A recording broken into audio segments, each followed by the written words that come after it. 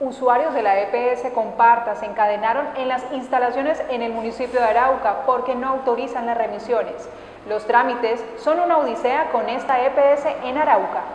La comunidad en Noticias La Lupa Araucana. La familia Holguín Valencia se encadenaron en las puertas de las oficinas de la EPS de Comparta en el municipio de Arauca de una remisión que se necesita para su querida madre a otro centro asistencial de mayor complejidad. Estamos exigiéndole a Comparta un derecho a la vida, un derecho a la salud, lo que ellos están violando. Llevamos tres meses exigiéndole una remisión a mi madre que cada día deteriora más. Como lo pueden ver, pues ya ni camina, el dolor es intenso, eh, ella ya no puede dormir está muy mal de salud, exigimos que comparta, por favor, nos colabore, que el gerente nos dé la cara que sea un hombre como lo es y nos dé la cara él mismo y que no esté mandando a la policía, que nos dé la cara aquí y nos diga que nos dé una solución, que es lo que necesitamos, una solución pronta, de aquí no nos vamos a mover hasta que no nos den una solución, hasta que no nos den ya el papel firmado, la remisión autorizada. De aquí no nos vamos a mover, necesitamos solución ya. Según Azucena Holguín, la remisión sería para Villavicencio, Bogotá o Bucaramanga. Las remisiones posiblemente nos han dicho que sea hacia Bogotá, Villavicencio, Bucaramanga. Está entre esos tres lugares, pero lo que ellos quieren es mandarlo vía terrestre.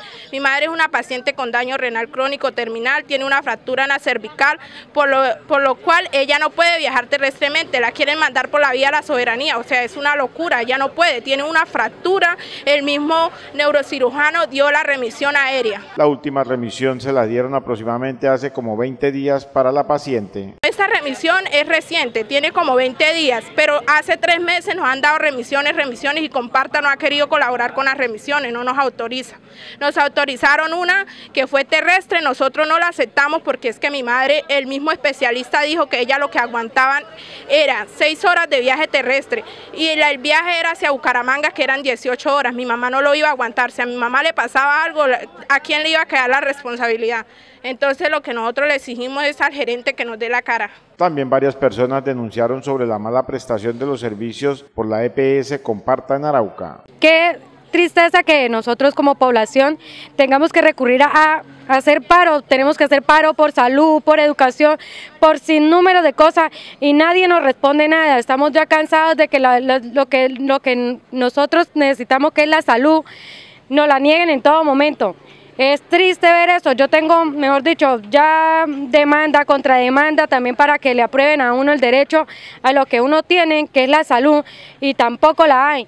He perdido dos citas en Bucaramanga por junta médica, nunca la he podido ir porque aquí, o si no es porque no le dan a uno una cosa, no le dan la otra. Los familiares de Holguín Valenzuela permanecerán encadenados en la EPS Comparta hasta que no se le dé la remisión a su madre vía aérea.